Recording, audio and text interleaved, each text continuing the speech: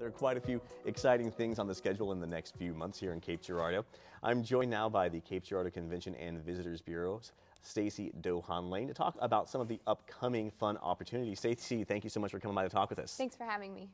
First thing that's exciting is the uh, the uh, fall tunes at twilight is just around the corner. Yes. Tell us tell us a little bit about this. I love Tunes. Who doesn't love Tunes? It's an award-winning free outdoor concert series, so you can bring your lawn chair, a blanket, you know, maybe your spouse, some friends, kick back on the courthouse gazebo lawn, taking some free live music. So the lineup this year looks really cool. I'm I'm very much looking forward to it. I know one of the one of the uh, artists that I'm excited about is Dennis Stroughmatt. He's a Cajun Yeah. fiddler, he's a very unique. He's a, I think he might be the only person that does the Missouri Cajun. I think Fiddling. he does too, and he's with the Creole Spirit Group as well, I believe. So that should be a really cool evening. That's right. That's, Mm-hmm. That should be a that should be a really fun one. And that's the first one on the uh, Tunes at Twilight Mm-hmm. schedule. But we also have some some big events um, rolling into town um, this fall, including Cannonball Run. Yes. Well, What what is that? Um, I'm not a motorcycle person, obviously, but the Motorcycle Cannonball Run is a coast to coast motorcycle relay. So they start in Daytona Beach, Florida, and they're going all the way to Tacoma, Washington. But the kicker is that they're on bikes manufactured prior to 1937.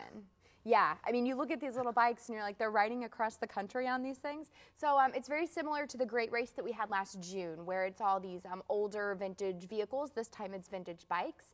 So um, they'll be on Spanish Street on Tuesday, September 9th for a fun evening um, as they make their way across the country. Now the, the Great Race had Mm-hmm. a had a fantastic turnout, um, a, phenomenal turnout for that.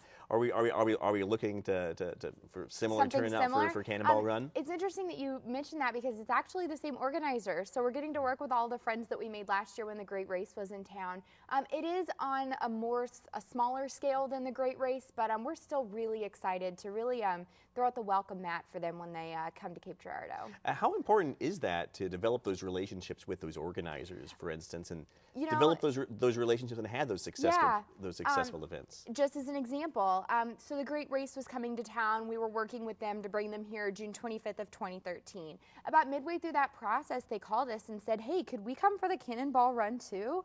And we were like, "We'd love to have you, absolutely." So then we started working on the Cannonball Run.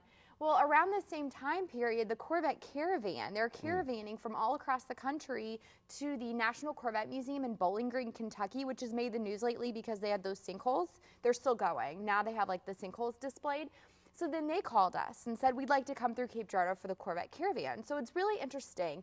You know how you work with one event and you enjoy working with them so much and, and making those new friends and building those relationships. And it kind of has a snowball effect because now we're welcoming the Cannonball Run and the Corvette Caravan. Uh, When will the uh, the Corvette Caravan be coming through Cape Um, Girardeau? they're actually coming through the week before the Cannonball Run. Oh, So. Tuesday, August 26th, we'll welcome about three to 400 brand new Corvettes to down. I know, three to 400 um, to downtown Cape Girardeau, and then um, just a week from then, on Tuesday, September 9th, we're welcoming the Cannonball Run.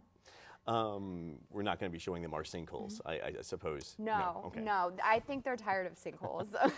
Um, now, there's a, an, another fun uh, another fun activities Mm-hmm. uh, is going is going on at, at Fort D. It's a, a, a Living History Yes. Day. Tell us uh, tell us a little bit about that. Fort D does these, they do three Living History Day reenactments every year. They've got Memorial Day at Fort D, Fourth at the Fort, and then Labor Day at Fort D.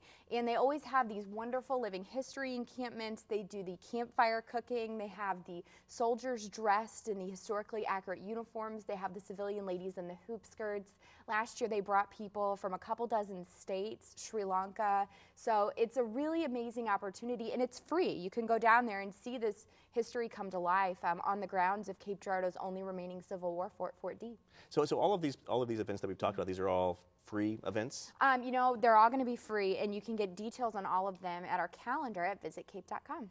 Now, last year, the uh, the big thing everybody was talking about was Gone Girl. Yes. Gone Girl's coming out this fall. It is. Um, is there anything that we're going to be doing to, uh, to to celebrate Yes. the, the movie? Well, the mayor um, got a group of folks together and said, I really want to make this special. This was such a cool experience for Cape Girardeau. What can we do to really leverage ourselves as a community, you know, to both celebrate this event and to leverage ourselves from a tourism perspective? We've already gotten some emails from book clubs in Kansas City saying, we loved Gone Girl. We want to come to Cape and see all the sites where they filmed it. So there is a group hard at work on how to make that premiere a really special occasion for the city of Cape Girardeau. And then we're also working on a driving tour too, so that big fans of the book and the movie can see some of the major filming locations that we had here in Cape Girardeau. Well, tell us, talk a little bit about that. What so what will, this, what will this driving tour entail? Um, so the courthouse stairs are on it, and then the bar is on it. Um, also the bridge is on there Sure. too because there were those great bridge driving scenes that they filmed.